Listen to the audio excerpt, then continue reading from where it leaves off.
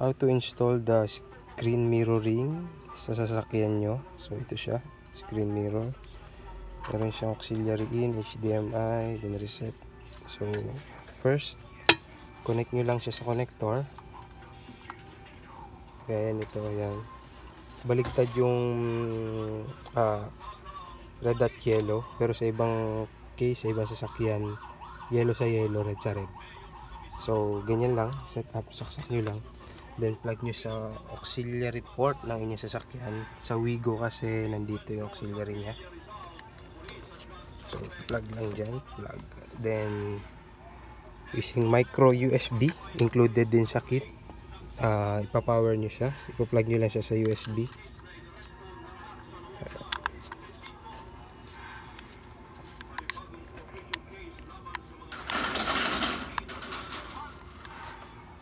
Yan, naka-plug na siya. So, as you can see, makikita nyo na si Mira screen dating sa player. So, auxiliary in or any player na inyong sasakyan. Ito nga pala ay nagana sa iOS and Android. Nandito yung instruction niya. Password, tapos yung SSID. So, paano natin i-connect sa Android? First, punta lang kayo sa wireless projection. Hanapin nyo lang sa settings ng Android yung wireless projection or wireless display. Click nyo lang yon pag hindi nag-appear dito sa bar na to hanapin nyo lang. Nasa settings lang enable nyo lang. Wireless projection. Tapos magse-search siya. Hinala, nakita niya na si Mira Car. Click nyo lang siya. Then ko-connecting na. Yan. Mirrored na siya screen mirrored na siya mirrored. So punta tayo kay VLC try natin manood. Toy Story 4 ito yung mag-a-appear pagka ano naglagay kayo sa player.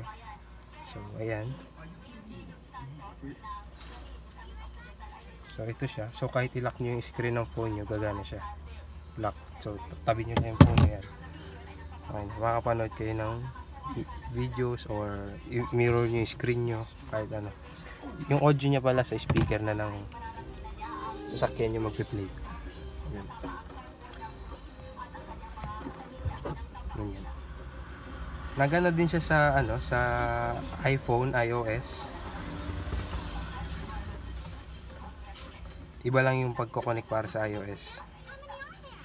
Ayan. Yan screen, screen mirroring nagpe-play siya kahit naka home screen ka so you can use your phone. Close close nyo lang siya para mag stop ng play. Yan. babalik siya sa mirroring ng inyong phone. Then kahit ano pwede nyo gawin yan. So yun lang. Sa iOS naman tuturuan ko kayo paano mag connect pairing naman para sa iOS so first uh, search nyo yung wifi na Miracar connect lang kayo dyan. So kukonect nyo lang. Yung password nya is 1234567 ayan yung password. Makikita nyo naman sa screen nyo. Tapos pagka nakakonect na kayo dyan punta lang kayo sa swipe up then screen mirroring sorry. Screen mirroring makikita nyo na yan. Then after that may mag screen mirror na siya pwede na kayo mag waze manood ng videos or ano man ang gawin nyo